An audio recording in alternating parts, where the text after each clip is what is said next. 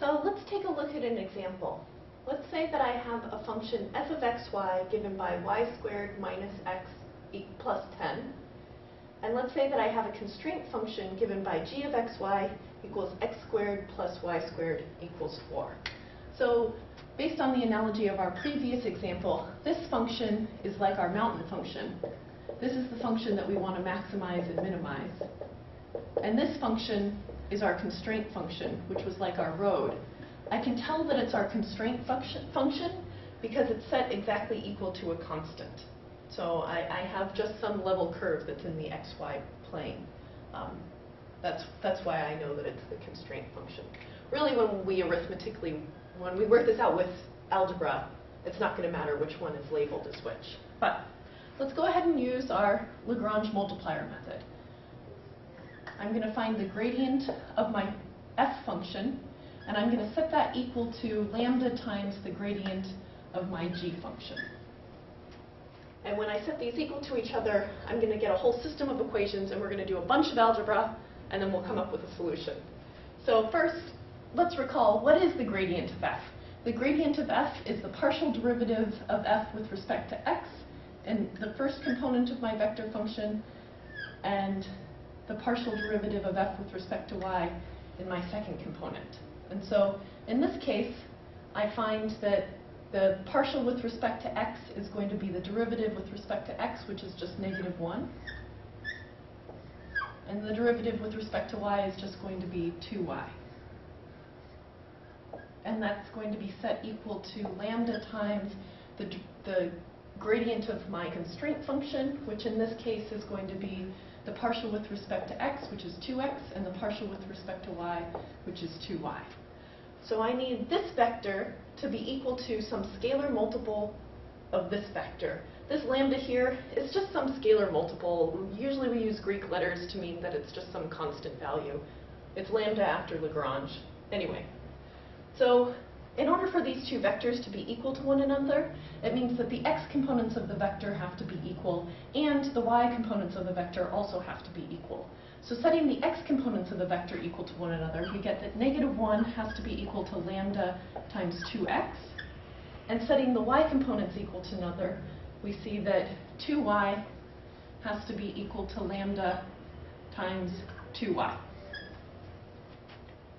We have three different variables that are unknown and only two different equations.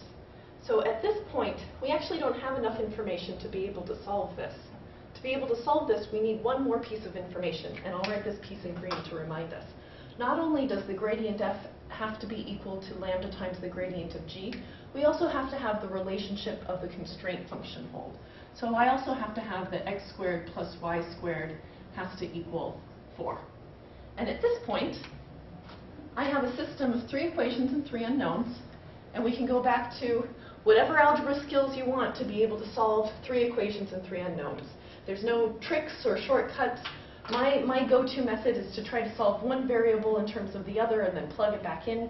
In this case, there are a couple of things that we can do right away. I see that I'm going to divide 2 from each side of this equation, and I come up with the fact that y is equal to lambda times y. So taking a look at this relationship, if y is equal to lambda times y, that gives me two possible outcomes. One, I could divide both sides by y, and I would see that lambda was equal to 1. Dividing both sides by y, I get that lambda is equal to 1. I'm going to write that over here. But, cautionary tale, and this is a cautionary tale that comes up a lot when solving these types of equations. I can only divide both sides by y if y is not equal to 0. This equation is also satisfied if y is equal to 0. So I can divide by y and see that lambda is equal to 1, or I also have the outcome that y could be equal to 0. Right? That's what this information tells me, solving this system of equations. So let's use this information and go back to one of the other equations and see what we get for x. So in this case, if it's the case that lambda is equal to 1, we get the fact that, so I'll, I'll do this in cases. Maybe my algebra looks messy. I don't have a lot of space here. But if I let lambda equal to 1, I go back to my first equation and I say that that means that x is going to be equal to negative 1 half, just solving, right, by subtract. And if lambda is equal to 1 and x is equal to negative 1 half, I can plug that negative 1 half into my constraint function and find out what y is. That means that in this case, negative 1 half squared plus y squared equals 4, which means that this becomes positive 1 fourth. So this becomes 4 minus a fourth, which is 15 fourths. And that means that y would be equal to plus or minus square root of 15 fourths. And that's one possible solution. Another possible solution would be when we take the case 2, that y is equal to 0. What happens when y equals 0? Well, this is actually an easy case. We can plug y equals 0 directly into our constraint function, and we'd see that if y equals 0, then x would be equal to plus or minus 2. I can do that in my head by taking the square root of both sides, plus or minus 2. So notice that all of this work gives us out four different solutions. And I'm going to summarize all four of those solutions. So in this solution, we got the fact that x was equal to negative 1 half, and we got two different y values out. So I'm going to record these maybe up above here. Can you guys see that? Yeah, I think you guys can see that. So one possible set of solutions is given by x equals negative 1 half, y equals square root 15. I'm going to say over 2, because that's the square root of 4. Or x equals negative 1 half and y equals negative square root 15 over 2. And over here, we also get two solutions. These are the solutions when y equals 0. We get x equals positive 2 and y was equal to 0. And we also get x equals negative 2 when y was equal to 0. So how are we going to be able to figure out which one are max and our min values? Because we have this long list of, of values, but really what we want to know is when are they maximized and when are they minimized? We're going to do one more step by plugging them into our function to find out when they're maximized and minimized. So let's evaluate each of these potential max and min values one by one. So the first one that I'm going to look at is f of negative 1 half, comma, square root 15 over 2. I'm plugging that into my f function because I want to know how high on the road I am at this particular point. And I notice that I get y squared, which is 15 fourths, minus negative 1 half plus 10, which is equal to 15 fourths plus 2 fourths plus 40 fourths, which is 57 fourths. I do that right? That's 40 plus 2 it's 42, 52. I think that's correct. Okay.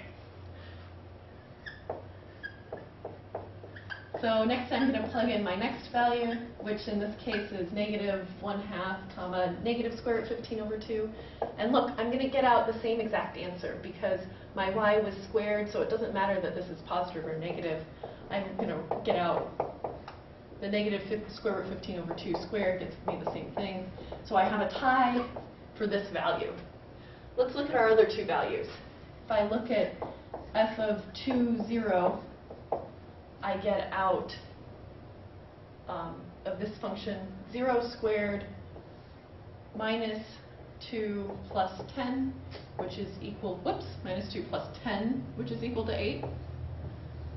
And then f of negative 2, 0 is equal to 0 plus 2 plus 10, which is equal to 12. So notice which values are the highest. Um, 12 is the same thing as 48 fourths, and 8 is the same thing as 32 fourths. So I did that to be able to compare that with my 57 fourths. And I see that these two points are our max values. And this point down here, 2, 0, is going to be our min value. And this value is sort of a dud. And it's not that surprising that we come up with duds. Let's analyze graphically what's going on in the situation to give us um, this behavior. So I'll label these up here. These two were our max values, and then at the 2, 0, that's where we got our min value. So to analyze this,